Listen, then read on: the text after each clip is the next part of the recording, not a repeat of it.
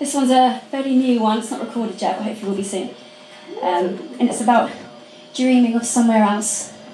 Um, yeah, and it's called Pacific, so I hope you enjoy it.